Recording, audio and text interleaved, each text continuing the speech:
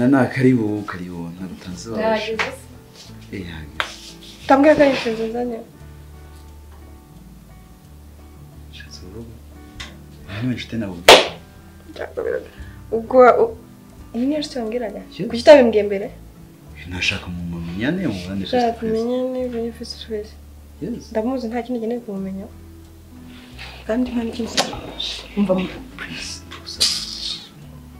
Turashaka tubigenze gute dukundane gute dukundane gute none wa- gukundana kwanjye nawe nukundana kuri umukobwa none gume nta muntu nta mwansi muto w'inshuti kuti murimo inzangano hagati yayo munsi wende mufike dupfa iki nimba ari inshuti yawe akubwiye ibyabaye okay tubirengane Eh, tubirengane, byararangiye, byararangiye. muri kese yanje nawe ntabwo Numva muko. Umva muko wikisarara hano uri mu nzu yanjye ndi mu nzu yawe bakerekanye usohoke mu ntara uriya uri wasakuje wavuze ubwambo uri kubwiyahuza na- kibazo? njyewe nawe byararangiye nta mwanya ngifite wo gutaha byararangiye njye rero gabanya kwakira abashitsi tuza rero tuza rero nimba nk'ukuntu ushingiye kuri umukobwa nta mahoro ushaka okay ndayashaka ariko ntabwo Okay, nyashaka kuri umukobwa tuganire twiyumve Ura- tuzahinduka bigenze gute? Njyewe nkutwaye iki ibyo twaburiragamo ko byarangiye hagati yanjye nawe Eh, iki kintu kiri gutuma uri gusara bingana Eh, gutya bitarangira. Buri wese akenera ubufasha ku muntu. Cyagiye nari ngukeneye kandi nawe aka kanya uranyuma tuza tubane neza mu mahoro rero. Uranyumva? Ni nuko mushaka kubana mu mahoro. nabanza tu Banza mbabarira shire banje mwakire neza. Eh mumeze neza rero. Izere ko nyine washimye ari neza. Buzagenda neza. Yego nubwo ari hatoya ariko nyine ni ho hantu nyine. Nyine numva ngenda ndashaka bwabo ko nyine bw'ubusirimu ibintu bikaba ruzungu ushaka ushaka ubukwe bw'ubusirimu ubujyana ku mazi ugatera intebe nkeya ubona ko ari ibisirimu naho n'isuka bumeze njye njye nta kibazo mbifiteho pe ariko se uzabwira papa ngo tumira abantu ngo batarenze makumyabiri cyangwa mirongo itatu. Eh nuko muhinda azaba agiye gutumira icyaro cyose se ni minisitiri wakoresheje ubukwe ni umwana wa perezida ni umwana wa Bill Gates ni umwana wandi ku buryo tugomba koroshya ubuzima ubukwe ntabwo ari ibintu byo gupanika. Ko uzi kwirasa uzi ko iyi ngiyi banzibiro Uzi ni abantu bangana papa mama marene pare uh, fille d'honneur garçon d'honneur um, n'inshuti zanjye nk'eshanu nawe inshuti zawe nk'eshanu famiye famiye nyine papa mama ye ndetse zo nibo bonyine bazatumira n'abatante wenda n'aba- n'abanyakurume ni n'abasukurume abavandi ni abaturanyi ntacyo abaturanyi baba baza mu gikari baba bazanye n'amagambo ari bo baza kureba nimba mwatetse neza cyangwa mutatse neza cyangwa wambaye ikanzu nziza cyangwa yitangiye ok nta kibazo. Basi niba ari ikibazo cy'amafaranga nanjye reka nshaka yanjye nongereho dushaka ntabwo ari ikibazo cy'amafaranga uretse ko amafaranga nayabuze njyewe mfite ikibazo cy'amafaranga. Nese ikibazo kiri he? Ikibazo ni uko nyine njyewe mbasha gukora ibintu bitandukanye n'iby'abandi reka ku buryo ushaka sare iru- yirutwa n'iyi ngiyi ntabwo rero nshaka guhinda. Usanga nawe urushinga abantu bose ngo nakoze ubukwe. Ubukwe ubundi ni iki? Ubukwe ni umuntu n'undi. Umuntu yemeye undi amuha urukundo amwambika impeta imana irabyemera n'abantu bakeya bakubyemeza hari ikindi? Paka isi yose ari ibyo ngibyo ndajya gutumira okay ntacyo ngaho ugenda utumire n'abantu mwigaye muri primaire bose ntihagire kandi n'umuburamo guhera primaire ya mbere iya kabiri ya gatatu kugeza muri p6 uzamuka ugere muri segonderi kugeza urangira bose ubatumire si abantu mwabaye si inshuti? Nimba ari ibyo ngo twaba tugiye- tugiyemo. Nawe numira abo twiganye bose. Wabaha iki? Niba atari ikibazo cy'amafaranga uretse tugashaka sare nini. Ijyamo bande kuko tutazabura riga ababyeyi bacu aba- abantu baza abantu baza kureba indorerezi gusa. Baza kuzana Ese amagambo. Gute? abaturanyi famiye zo ku ruhande rwa mama ku ruhande rwa papa famiye zo ku ruhande rwa papa wawe rwa mama wawe inshuti zawe abo mukorana abo mwiganye. Kuki utajya uharanira gukora ibintu bitandukanye n'iby'abandi bantu bose imyaka yose abantu bose bakoze amakuru batumira abantu bose kuki utakora akantu k'agashya ngo utumire abantu ese ni batatu? agashya nta gashya ni nyine agashya karimo aho ngaho nta gashya karimo ese ubwo abantu mukora nabo nibabona mu- uri muri kunama winjira mu ntuze mu gikoni ugiye muri sare bo barabifata gute? dukora ibintu bitandukanye. Kandi shiri gerageza ngo mwumve. Niba ushaka ibitandukanye rero tubushyire ku mazi. Oya. Biriya byararangiye mubwire ko nta mutima mubi biriya biba byararangiriye hariya. Okay nawe reka kumwigaragariza rero ntunga ikibazo. Ko nawe yari yasaze oya tuganire nk'abantu bakuze. Twanzure natuze turwanye sheri ntari bigiye. Mufise ibyo mwahuriyemo mukaba ntari bigiye. Ibaze Umva nari ko wari wakunze inama yangiriye. ikibazo kigomba kurangira. Ibindi byose rwose calm down. Ibyo naranabyibagiye byararangiye. Umutima wanjye ntabwo bikirere nizere ko nawe wakurinze down. Karenze ndawe Kira. ibyo se waramwibagiwe naramubagiwe ntabwo kiri mu buzima bwanjye so dukemure iki kibazo ni cyo cyihutirwa murebe ariko nyumva basi mbabwire mbona mwese mwa tuza nje sinzi ko hagera igihe ukagomba gukamera kuriya mbonye irasungeretse ugomba kumenya wese rero Okay, ni ibyo byiza ni rero. byiza byose byose ukamenya ntusishe ngatubwirire nyine jini uba mukwiye gufata ahahise mu kantu ntabwo bakwiye kutishaza ibi nshaka gukora ni neza yanje nawe. Uri nta n'inyungu wabifiteho ibaze ko yemeye kudufasha ata nyungu wabifiteho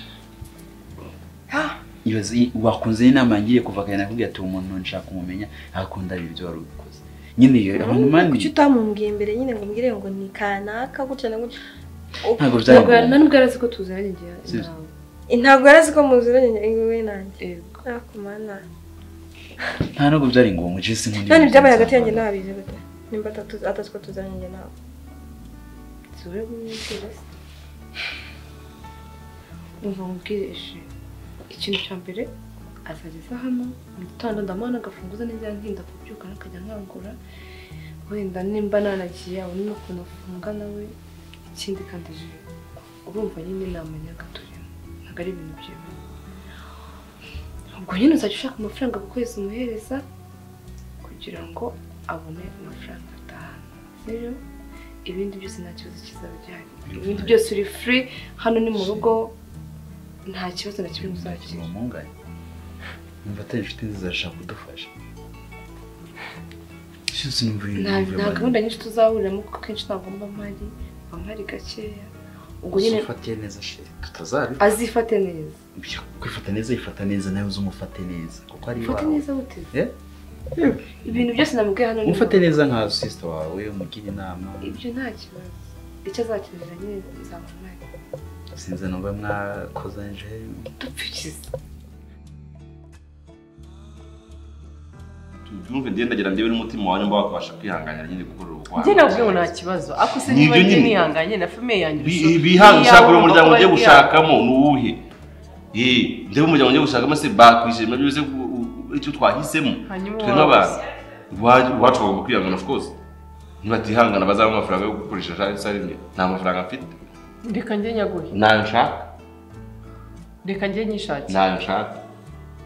Wari urariko eh eh watangiye kugorana utangiye kuza umushiya mu buguru sarambika impeta uyishyire mu kuboko kuko kumuzo ufite ibibazo ntawe ujya kunamika keke wiswatije kubera umushiya ugerageza utuze wiyakire bibayeho nyine ibyo byemere ku buzima bwacu sikoro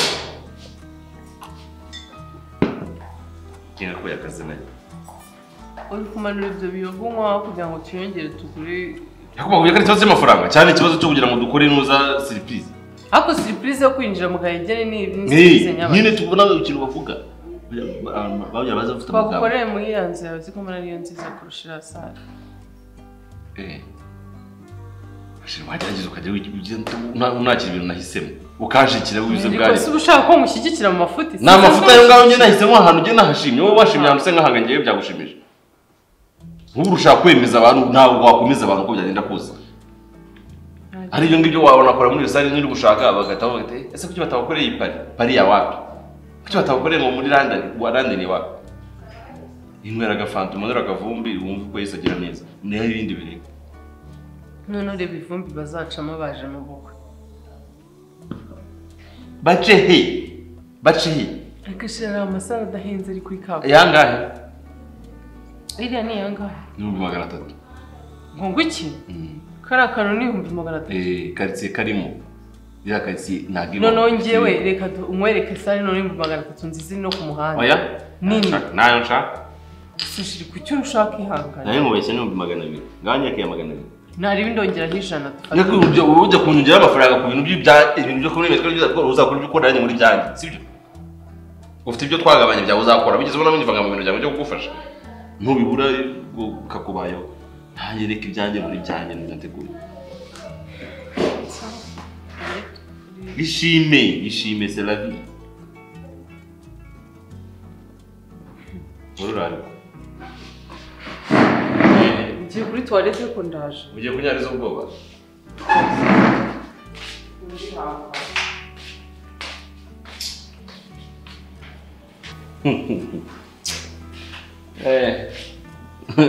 siripurize ibaza nakoreye muri sare imeze kuriya wabaye wowe kubanza nkajya ndeba nyine wi- wihangana gute umutima wawe wabasha kwihangana ingana gute.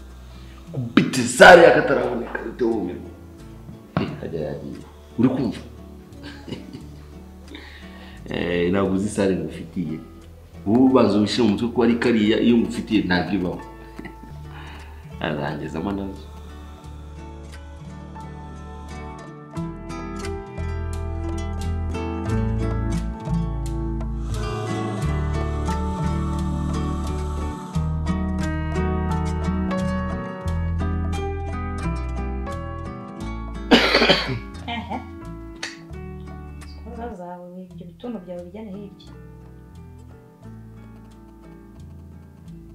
ubu nshantse bugiye kunshingaho rero mu mushinga uraje cyaho kirarika abashyitsi neza we none se bakwakizanya wakoroye ukarega nawe kuyireka. Mungu wawe. Nta karayirwaye ngorane kihagazeho ngorane ese ntabwo uri gufata imiti? Ni akavumbi kahari wawe. Akavombe intebe z'umweru zigira ivumbi reka. Eh, ngaho mugere ukorere twumve. Eh. ni igituntu ni kuko Ah, ni bronchire ni- we ntukajya unyigagazaho ujye umenya ko wabaye umu expert iyi nawe mu expert. Ntabwo uzi ko uri expert warabyibagiye ubu uri ex- expert no mu gifaransa nubwo byakumva expert. nye na byo numvise kila ndabizi urankumbuye inde njyewe ngukumbura inkuru mufitiye nyigagazeho se nzisubizeyo ufite amakuru meza y'impande zose ku mugore wawe kwa nyoko bukwe kwa nyira kwa so bukwe kwa nyoko bukwe kazi yose. Ipati ya bari Unapenda ma- unapenda maneno. Unapenda maneno uhise wicara neza uri ubwo wakoresheje udusatsi se ndagukizwa n'iki mama. Sebo watwe ibyo dufura ko ntwe yive nta kintu yakumarira Ah, sigaye ujya guca ukijajara nawe ukagera ku mugisha ariko sinkora nta kazi mfite njye imana sinkora niba duteza ubu nawe yaguhuhiyemo kira njye mbaye b'abakobwa bo batunzwe n'abahungu eh. Akazi kanjye kakaba kamaze iki ndahembwa mm. nikorera buri kimwe cyose kutajyaga gukora imisatsi nawe uraniga ibisuko. Ntabwo guhora mu bintu bimwe. Bakugurira rinete ahubwo ntujya ubona wowe amaso yawe urafu- a- a- a- eh ubona eh. Ah, ni pati ya bari mhm. Barigana nabyibagiwe ibyo nanje kukubwira byose. Wakubyaye ntazanseke ikibazo mfite ni uko bagiye kukunteza cya mbere guteza gute. Mwese nyamba ntabwo ari kubwira ko ugiye kujya iwabo. Kwisa gushaka ko mbona uri buri none se icyo ni icyo ikibazo? Ikibazo mbifitemo ni iki? Eh. Baguhamagaye kugira ngo bakugabire. Kandi abaviye nka bariya bagabiriye none umva atari ikibazo kigiye kuza muri ikibazo cy'isi singa agiye kuma. Baguha inka gute? Wowe baguhaye ihene cyangwa ingurube? Pomba fora ko kameze icyo Mani ni cyo kibazo kandi- njye mfite. Eh warozire ngo nishimye ngo nagize nte. Nta nka ukwiriye cyakora nzamburira muvuye gushakira ikigurube kimwe kinini kibibinga kimeze gutya. Cyangwa agahene eh nka kino siko yakoye nyoko. Eh, oya nka kiriya Eh, wowe bajya kuvuga ngo uzakwe nyambo. Aba ari Eh. cyo bazaguha ukwe nyambo. Kimwe nyine siko Oya. yakoye nyoko. Nyambo ntabwo gukobwa Eh. kigurube nyine ubo- ubonye urugero siko yakoreye nyoko. Eh ntacyo tubyemere. eh, oh naye. Tubyemere. Ntacyo icyo kigurube aba ari cyo baguha. Ariko nk'ubu njya nibaza nk'iyo nza nk'iyo nza kugushaka ubu si imana aragendesheje. Ushaka ndetse ibaze washatse jini mana we. Kari kuzamukira jini kazi. Ijini ni jini kazi. Ese wabaye iki? Ko muri wabyimba byagenze bite? Byimba iki?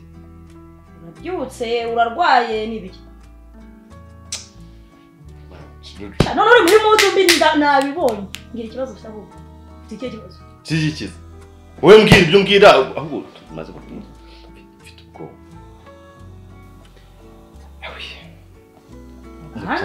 ngoja. Turajya mu cyaro sasa niko najiuliza kwenda pale tavara kivipi? Biki- maneno nitakuwa niko naongea pale. Hmm? huyo ni bwambi uno nani? Ibintu bya hano mu mujyi njye na pale na- na pale biratandukanye mfata nk'umujyanama wawe nyine nkubwire ukuntu wabaye uzitwara mu cyaro se nabayeyo nyine njye se mama wanjye ntabwo ari mu cyaro ntabwo muri mu cyaro ugira ngo ndi Iyo. nkawe wirirwa Nkumbure wavukiye mu ukamutoka mujyi ukaba mu mujyi ka Cana- ubundi ubundi kamubwira uzicare bumwe ugurira icupa ni ubwa mbere nabonye umuntu w'umutoka mbari ugira amagambo nk'ayo ugira wigize inshangingi kugera kigali ugahita uba inshangingi inshangingi ya kigali.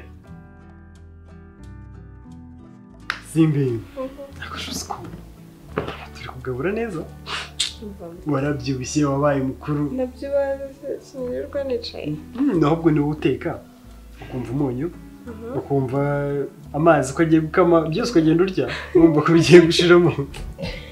Twajya no kurya. Ukaba ari wowe warura mbere? Twasoza kurya. Wajya koza ibyombo ugahita ureba bya bindi byose.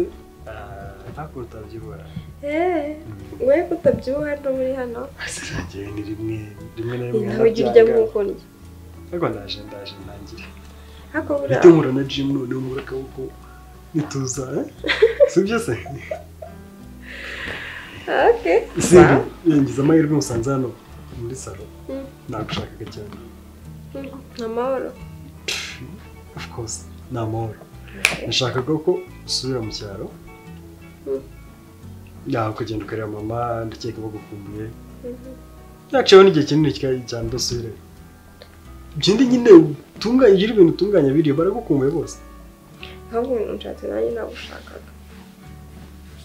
Ni- reka warakize ikintu ushaka ya ni so genda ujya mu cyaro rero nyine usanga usanga ababyeyi. Nyine gusa nyine ngira ngo ubwe ngo nabonye akazi kandi bagajya bamwemba neza. Wakashatse ryari ku kazi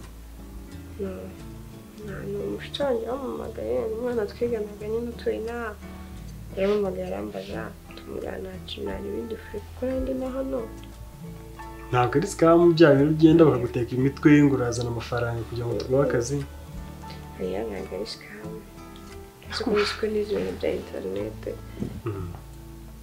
ariko ukwiriye kujya mu cyaro nibura ukagira ukuntu ubona nzajya ariko bari bambwiye ngo mbanze ngewe ndebe ko nzagashobora nyuma wenda nazasaba uruhushya nkajya cyangwa waba ari nko muri wikendi nkajya mu rugo se kuki buri gihe uba skipinga kujya mu cyaro nyine kuki udashaka kugera nibura ugereyo icyumweru cyangwa iminsi itatu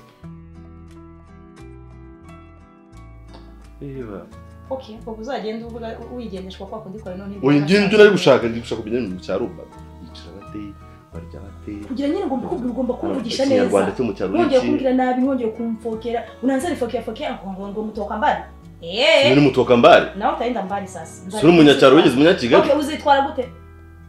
Ibyo ndi kwibaza nyine. Izo mvuga zawe z'abarari cyambere ntabwo. Izihe mvuga zabarari. Nuko ngo kuvuga samko mkosa adabu unapenda maneno ma eh ja ja ja ja Sasa, eh, mafokea. mimi nasemaga vibaya kwa wakati kuna wewe mafokea eh au wajue ba pepe bakuri njoo bakutamike ulozi njoo utakuwa sasa una- una- Acha. unaangara saa nini? None. Utaniloga Ah, uzajya n'ibiguru rero ko batagutamika pale.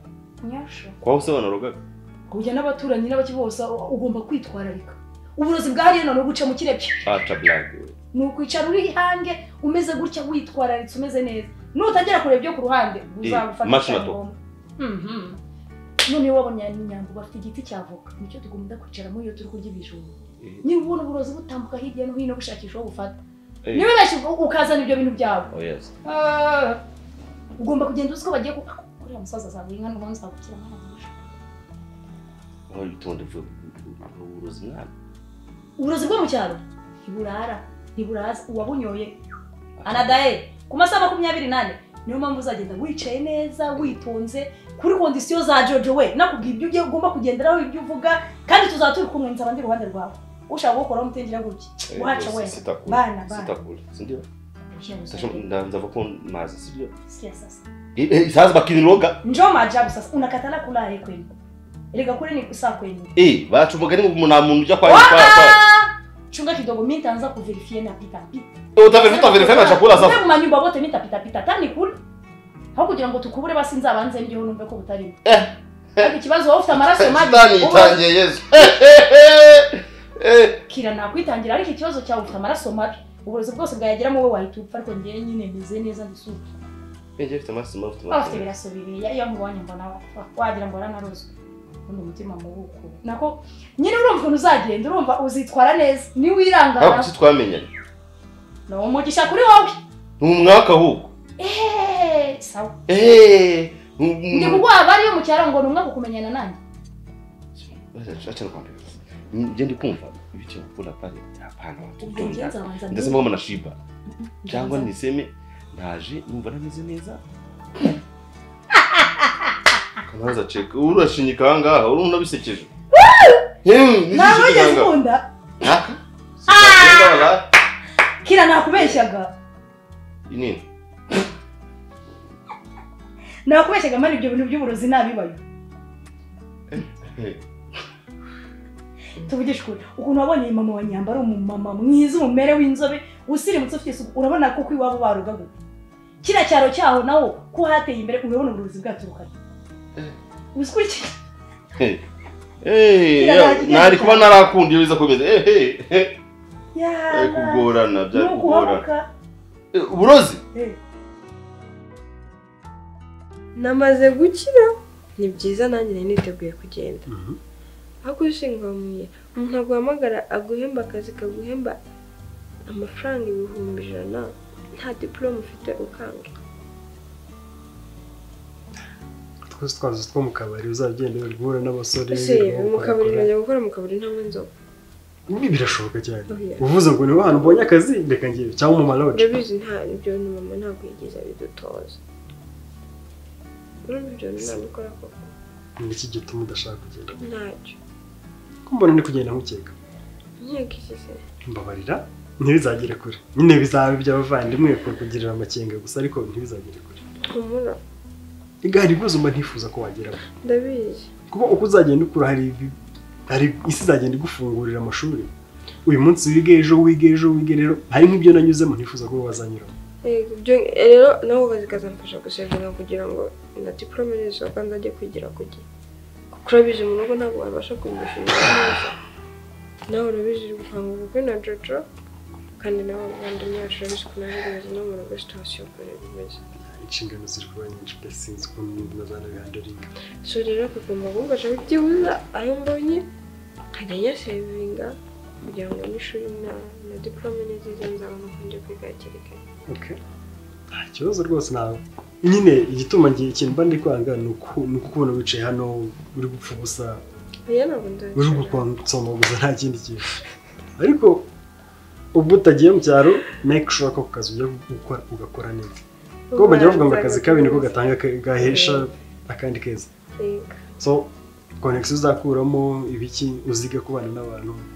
Ko umuntu umuhaye aka kanya nyuma y'imyaka itatu cyangwa itanu usanga ugira akamaro. Nanjye bashu abantu bari kumfasha muri ino Kigali abantu twagiye tumenyana gutyo duhuriye muri sitasiyo runaka. Mu kazi se mu biraka mu mahugurwa. Mm. ugomba kubikoresha neza. Kandi ndakwizeye uri mukuru umuntu iyo ufite imanite aba yarabaye umuntu koko. Ndakwizeye sisi Thank you. I love you. Reka njye mu cyumba ndananiwe cyane pe.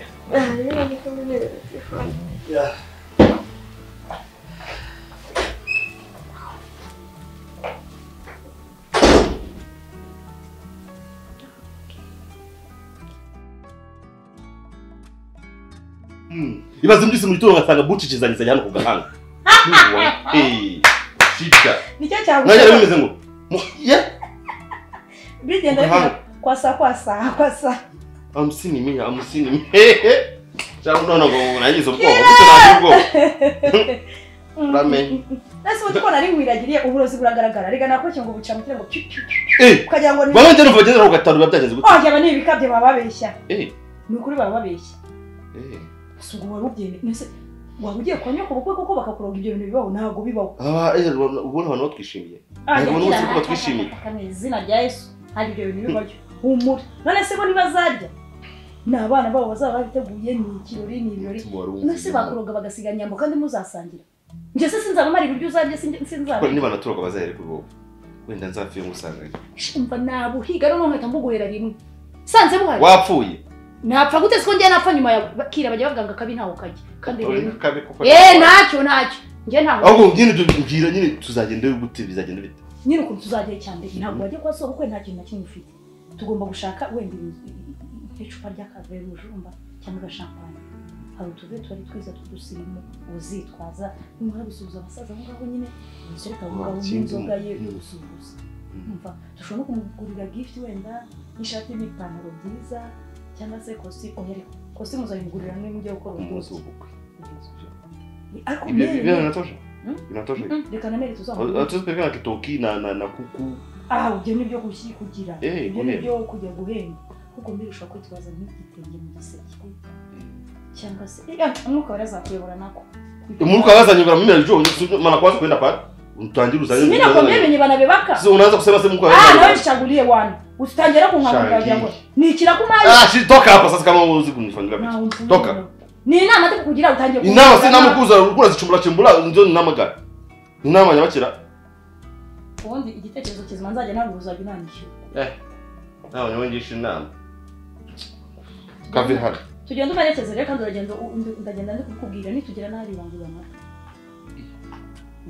Uwo munyabukura imisatsi ujiga ko najye mungura y'amata. wenda akora wowe utazongera Ukora ukora iki ukora iki baraho hembo. Zurata cyura hembo. kirabuze ni ni- Wara service uri kujye kumenya. uzi indi nkuru nziza nari ngufitiye Eh. hari umutari udoda amashati meza ya neza mu Rwanda ashaka gukorera uzatwara none kubera ibyo ko byikunzana utajiri gaho uzagiye kuyishakira uzajya kuyigurira kandi nitugeraho nkabona uburozi umushiho na nura wari kubyuzwa ni. nitugeraho nkabona uburozi nzagucangacangira mu gakombe ka ubundi muguru Wese nyamushira amakenga. Ubona nanga uwa bihasize ubu ngubu ubundi uruzanu. kandi nkunda kubiburya ubuntumira untumira untumira iyo nari hano buri gihe ntugira amahoro Eh. Waranduze nyine ubundi ko natandukanye nawe kuri expired. Eh!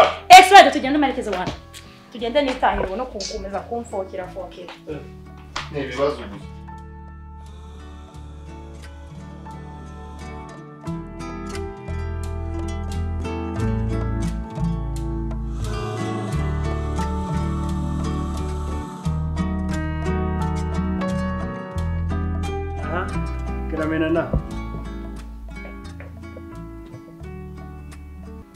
Urashaka iki noneho? Nyuma yo kuza ukansiga mu bibazo. Ubu nta nubwo ubyibuka kweri nta nubwo wampa agahenge Mm. icyo ntabwo ari cyo kintu cyatuma umpamagara njyewe. Okay ndabyumva nyine uratwite iyo nda ariko ntabwo ari ikintu ukwiriye ntabwo ari igikangisho. Ibyo bintu bigabanye nawe ndakwinginze na nawe. Utazanteza n'abantu. Na juju atazaza akabibona. Ndagusabye? Iyo nda yawe nimba ari ese ubu ndayiguteye gute? Ubizi ute? Na nawe ndakwinze mpagahenge mbabarira mu ku rugo rwanjye na juju sinifuza ko iyo nda yazayimenya mu buzima bwe. Ariko niba ari ibintu binashoboka tugende tunayikuremo hakiri kare. Kwica sara hari umunsi tuzakora ibyaha? Icyo na cyo kikaba kigiye mu cyaha nakoze. Kuba twayikuramo nta bintu birenze. Twarasambanye ubwo ngubwo nyine n'uwo mwana twaba tumwishe ibyaha twazasabira imana imbabazi icyarimwe